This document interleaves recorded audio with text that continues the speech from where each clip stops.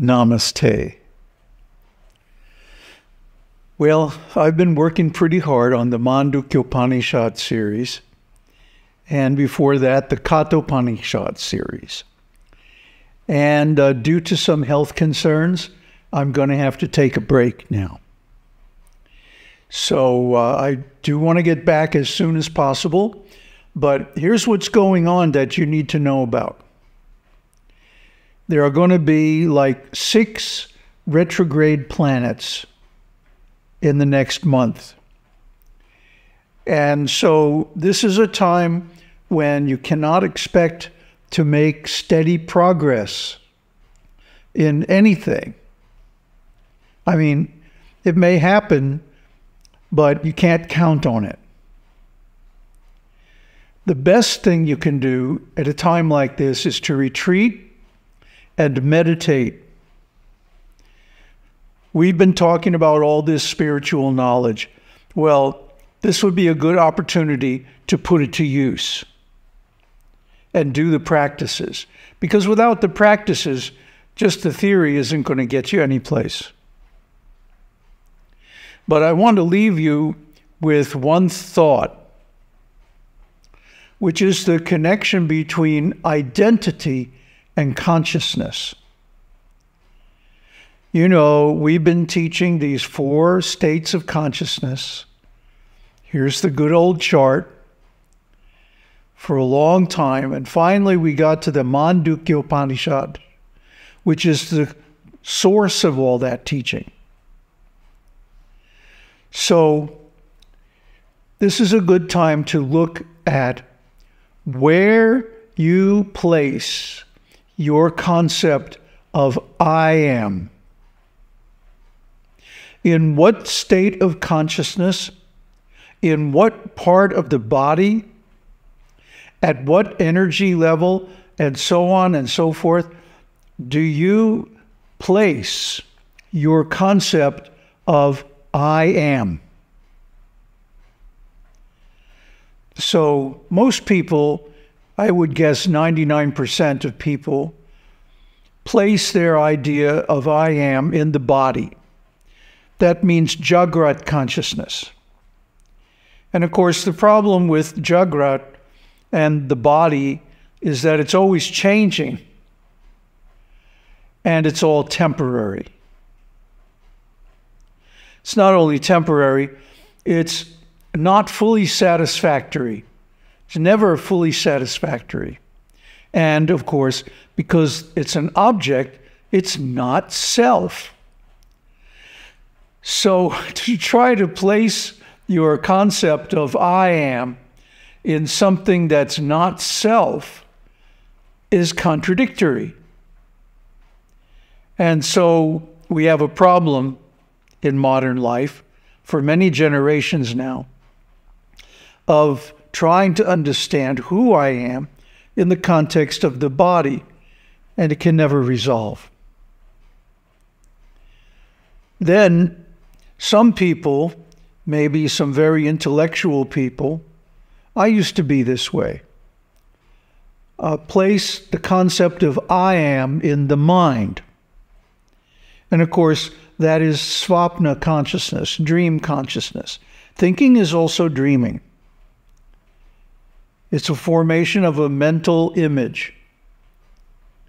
And using language is also dreaming, which is why so many of our abstractions created with language, like corporations, countries, religions, philosophies, science, and so on, is so weird, you know? it's so much against our actual nature because it's a fabrication. It's an abstraction. It's not a reality. It's a dream. So, just like the phenomena in Jagrat consciousness, in the material world, the world of the mind is also temporary. It's also unsatisfactory, and it's also not self. Because if you can perceive it, it's not you. I mean, that goes all the way back to Drigdrishya Vivekaha. Remember that? The seer and the seen. Whatever is seen is, by definition, not the seer. So, anyway, some people, very few, rare, special people, place their concept of I am in Sushupti consciousness. This is the void, emptiness, shunyata, nibbana. And any authentic meditators, anyone practicing real samadhi, not the fake trick samadhi where you close your eyes and pretend to meditate, but real samadhi, where you withdraw pratyahara, withdraw the senses from their objects, withdraw the mind from the senses, withdraw the sense of I am from the mind and the body, and concentrate it in the self, the unknown, the unknowable, the objectless consciousness of Sushupti. But even this is still conditioned by ignorance. So there's only one more place where you can put your sense of I am, and that is in Turiya. And that's really where it belongs because Turiya is Brahman. Turiya is described in the Mandukya Upanishad as being not having anything to do with consciousness, actually. Because consciousness always has an object, it's dual, it's dualist, dualistic. But Brahman has no object because it's one, it's non dual. Therefore, it cannot be conscious, it cannot be consciousness. What is it? Well, it's inexplicable, it's unknowable, but it is the real self. So, if you can place your sense of I am in this non dual, non doing, non perceptive, I mean, non conscious, but perceptive of itself alone, this Brahma, this Turiya, uh, this is the actual identity. This is actually who we are. And the fact is, we are in Turiya all the time because the only thing that Turiya can see is other states of consciousness, like Sushupti and Swapna and Jagrat. So the fact that we are conscious of consciousness means that we are actually Turiya. And then when Turiya simply withdraws into itself, it's identical with Brahman. And this is the full self realization. Turiya Tita.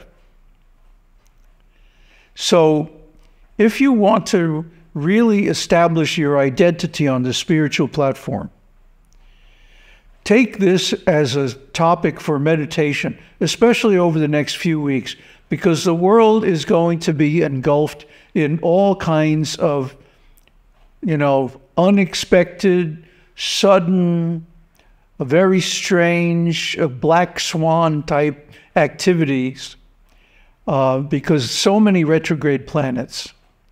A lot of people are going to be overwhelmed with confusion and uncertainty. They're going to freak out and they're going to do stupid things that cause a lot of problems.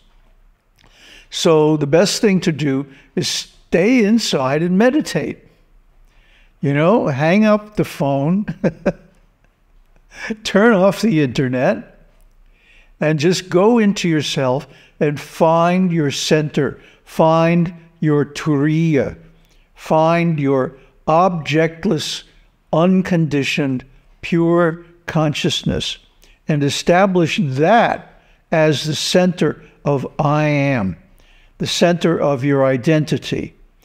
And that, of course, is just causeless bliss.